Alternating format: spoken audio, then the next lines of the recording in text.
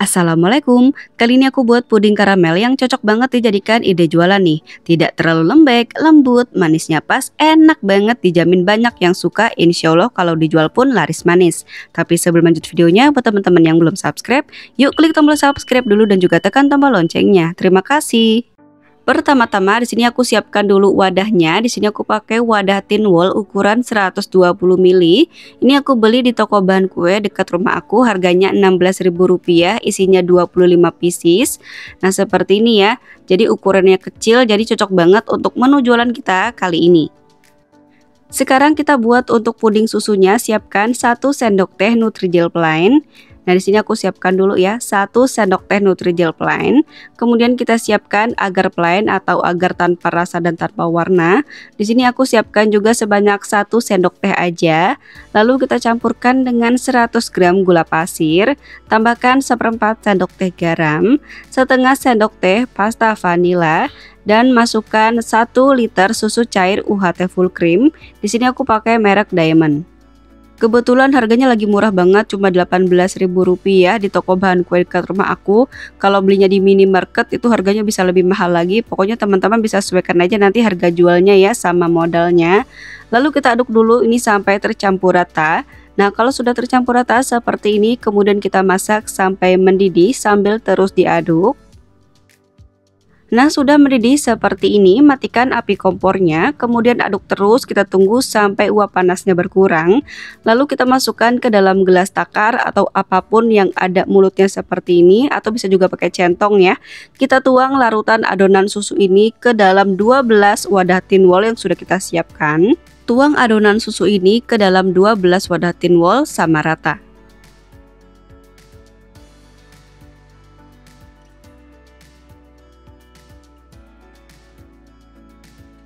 Setelah dituang ke dalam 12 wadah tin wall sama rata seperti ini, biarkan sampai padat minimal selama 3 jam. Sekarang kita buat untuk saus karamelnya, siapkan 3 per 4 sendok makan tepung maizena atau setara dengan 10 gram, lalu campurkan dengan 50 ml air, lalu aduk sampai tercampur rata. Siapkan 125 gram gula pasir, masukkan ke dalam teflon, lalu ratakan, kita masak gula pasir ini di api kecil aja, kita tunggu sampai gula pasirnya larut. Jangan diaduk-aduk, kita tunggu sampai gula pasirnya larut aja seperti ini. Nah, kalau gula pasirnya sudah larut, sekarang kita aduk-aduk gula pasirnya. Kalau sudah seperti ini, sekarang kita masukkan 200 ml air panas. Ini airnya benar-benar panas ya. Langsung aja kita masukkan dulu sedikit, kemudian kita aduk gulanya, lalu tuang semua air panasnya. Aduk lagi sampai tercampur rata sampai gula pasirnya benar-benar larut. Kalau sudah, masukkan larutan tepung maizena yang sudah kita larutkan tadi.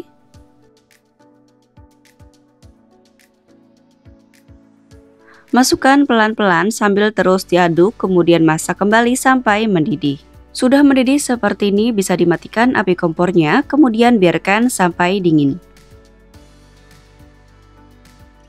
Siapkan 100 gram biskuit regal, kemudian potong menjadi potongan yang kecil-kecil seperti ini. Tapi jangan semuanya ya, kita buat ada yang besar sedikit dan ada yang kecil-kecilnya juga. Setelah beberapa jam puding susu pun sudah padat seperti ini, sekarang bisa kita tuang saus karamelnya. Pastikan saus karamelnya sudah dalam keadaan dingin ya. Langsung kita tuang kurang lebih sekitar 2 sendok makan saus karamel untuk tiap wadahnya.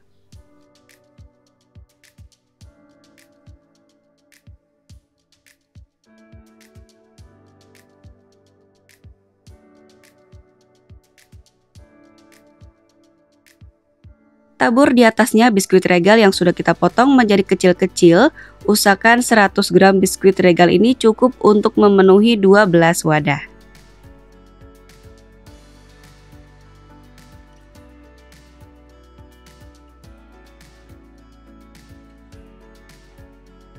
Kemudian tutup menggunakan tutup wadahnya, lalu biar makin cantik dan menarik untuk dijual, kita kasih stiker thank you di atasnya.